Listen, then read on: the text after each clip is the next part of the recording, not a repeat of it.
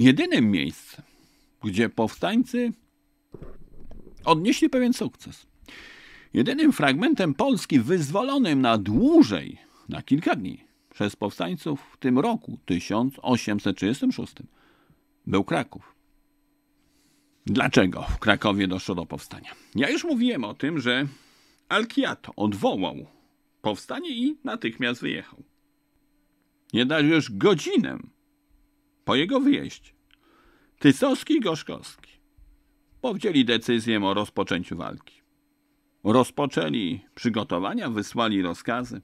18 lutego do Krakowa wkroczył niewielki oddziałek austriacki. W nocy z 20 na 21 lutego grupy spiskowców ostrzały Austriaków w centrum Krakowa. Nie udało się wówczas opanować miasta. Jednak 22 lutego dowodzący wojskami austriackimi, liczącymi w Krakowie 1820 żołnierzy, generał Ludwik Kollin opuścił miasto. Wraz z nim wyjechali trzej rezydenci mocarstw rozbiorowych. Prastara stolica Polski była wolna. Natychmiast ukonstytuował się rząd narodowy w składzie Jan Tysowski, Ludwik Gorzkowski i dołączony do tego grona ziemianin z Królestwa Polskiego mający reprezentować zabór rosyjski Aleksander Grzegorzewski. Pierwszym krokiem nowo utworzonego rządu było wydanie manifestu rządu Narodowego Rzeczpospolitej Polskiej do narodu polskiego. To jeden z ważniejszych dokumentów ideowych XIX wieku. Dokument, który był odtwarzanym z pamięci dokumentem napisanym przez uwięzionego przez Prusaków Karola Libelta, przeszedł do historii polskiej myśli politycznej, polskiej myśli demokratycznej. Zacytuję obszerne fragmenty. Polacy, kwiat naszej młodzieży gnije w więzieniach. Starcy to wspierali nas radą, oddani bez cześci. Księża obrani z wszelkiej powagi. Słowem, każdy, kto czynem a myślą tylko pragnął żyć, umierać dla Polski, jest zniszczony albo gnije w więzieniu lub co chwila jest na to wystawiony. Dalej czytamy.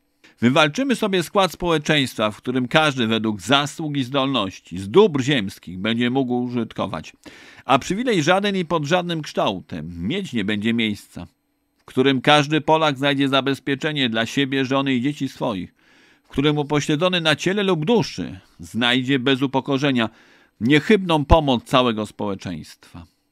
Czytamy dalej. Polacy nie znamy odtąd między sobą żadnej różnicy. Jesteśmy odtąd braćmi, synami jednej matki ojczyzny, jednego Ojca Boga na niebie. Jego wezwijmy na pomoc, On pobłogosławi orężowi naszemu i da nam zwycięstwo. Ale aby wysłuchać głosów naszych, nie kalajmy się pijaństwem ani rabunkiem. Nie plańmy poświęconej broni samowolnością lub morderstwami bezbronnych, różnowierców i cudzoziemców. Bo nie z ludźmi, ale z ciemiężcami naszymi bój prowadzimy. O czym mówił ten dokument? O czym mówią te cytowane fragmenty? Otóż zapowiadają zniesienie nierówności stanowych, czyli resztek feudalizmu, czyli równość wszystkich wobec prawa. Zniesienie pańszczyzny bez odszkodowania, obowiązków feudalnych. Chłopi uzyskują użytkowaną ziemię na własność.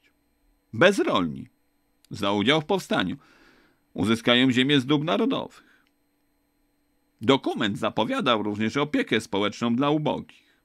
24 lutego przybywa do Krakowa Edward Dębowski. Zostaje sekretarzem Tysowskiego, a tak naprawdę to on staje się tą najbardziej dynamiczną osobą, która kieruje powstaniem krakowskim. Tego samego dnia Tysowski, skonfliktowany z Gorzkowskim, odsunął go od władzy i ogłosił się dyktatorem. Edward Dębowski się dowiaduje, że do Krakowa zbliżają się podburzeni przez Austriaków chłopi. Postanawia do nich wyjść, zaapelować o zgodę, przekonać ich do przejścia na swoją stronę. Edward Dębowski był ateistą, był materialistą. Ale zdawał sobie sprawę z tego, że chłopi są religijni, że dla chłopów religia jest bardzo ważnym punktem odniesienia.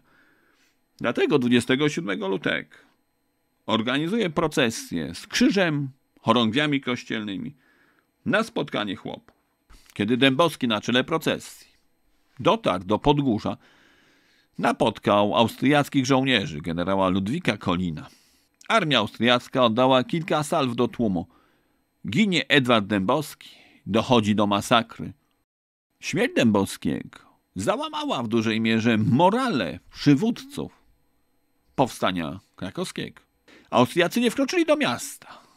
1 marca zażądali kapitulacji Krakowa w ciągu 48 godzin. 3 marca Tysowski opuścił Kraków i na czele żołnierzy, którzy zostali sformowani w Krakowie, udał się w kierunku granicy z Prusami. 4 marca do Krakowa wkroczyły wojska austriackie i rosyjskie. Powstanie dobiegło końca. 6 listopada tego roku zlikwidowano Rzeczpospolitą Krakowską, a Kraków został włączony bezpośrednio do zaboru austriackiego.